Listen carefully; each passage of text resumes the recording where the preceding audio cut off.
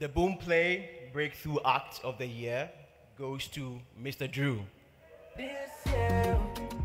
Yo, what's up, people? It's your boy, Mr. Drew, and I'm live right here on Chit Chat with Buzz. Don't go anywhere. Silly. So, how did you feel when you were nominated for the Breakthrough Act of the Year in the 2021 Three Music Awards? Is this something you expected? Okay, how I felt. Yes, I did expect it because I feel like I worked last year, and then the year and the review actually took over for you know a breakthrough artist or like an, an upcoming artist. I took over from January, and I'm still I have one of the hottest songs in Ghana right now. So I feel like uh, yeah, I, I did expect it, and we're even expecting more.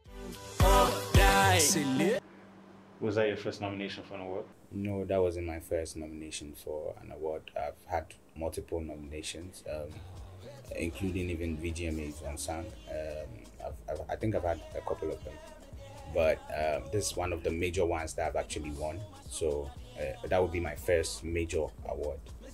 So, what was the atmosphere like at the event? Uh, it was actually, you know, mixed feelings. I had my team behind me, and I had other artists too that I worked with over there, and everybody was happy. Everybody was cheering each other up. It was just love throughout. Ladies and gentlemen. Are you ready to have some fun? So, how did you feel when your name was announced as the winner for the Breakthrough Act category? Um, how did I feel when my name was announced? I was really, really happy, and at least I, I know that my hard work has been, you know, has been seen and has paid off. And I was also excited about the package that followed with winning the, you know, the award, which is, you know, uh, being sponsored by Boomplay, and yeah, I was pretty excited.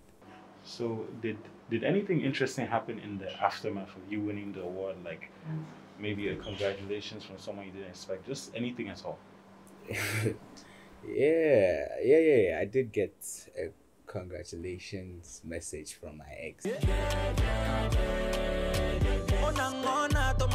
But she doesn't follow me, I don't follow her. But she sent me a congratulations message. So, yeah, that's something I didn't expect to do. So, what's next for Mr. Drew?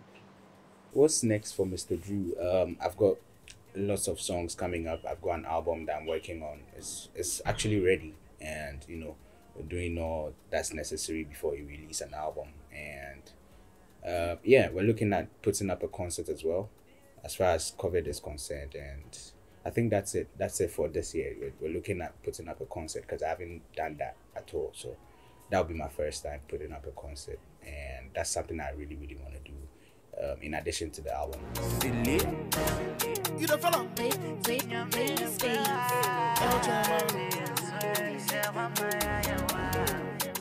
This was Mr. Drew on Chit Chat with Buzz. And don't forget you can stream all my songs on Boomplay. Go check them out right now. Right now. Go.